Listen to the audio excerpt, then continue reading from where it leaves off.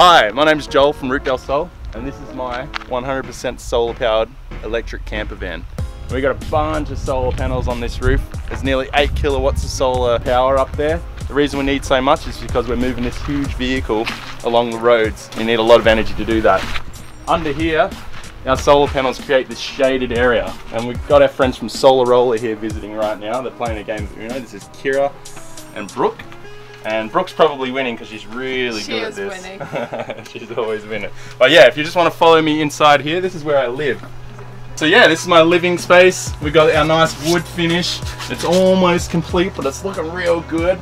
We got Lyric here hanging out on the bed. He's reading a book. This is where we hang out most of the time. It's a nice living space, super comfy. Got all our books and our gear. Um, this is our kitchen. Big old fridge under here.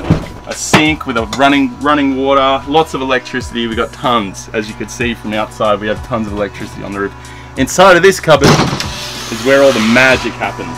And as you can see right now, if you look at our charge our FLEXmax 80s, we're pulling in 2.6 kilowatts here, and we're pulling in 2.2, so nearly 5 kilowatts of energy right now, which is great, because we're going to try and get moving again in the end of the day, so um, that's where the magic happens, it's the most important part of the vehicle.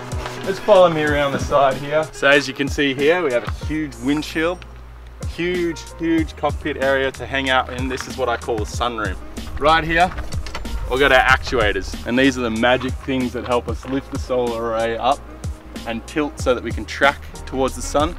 Um, by tracking, we're increasing our efficiency, our solar input to our batteries by about 10 to 30%, depending on um, the type of sun and the angle of the sun. So we've installed three of these um, in our time while we spent in Ashland.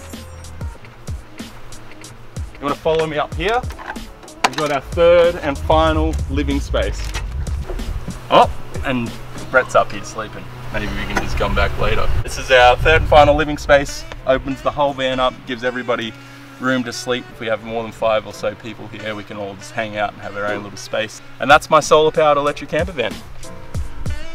So join us. We're driving from Alaska to Argentina, completely off renewable energy. Join us on our journey. If you hit the link below for Patreon, you get updates every single day from us. Well, basically every single day. Sometimes we can't because we're in the middle of, you know, nowhere like right now. Right now we're in the middle of nowhere. I haven't had There's no reception for like reception. a week, but It's kind of nice actually. it's really nice. It's so good.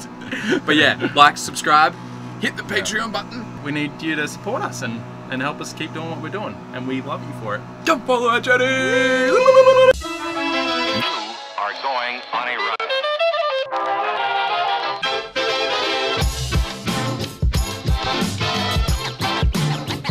Get scratching.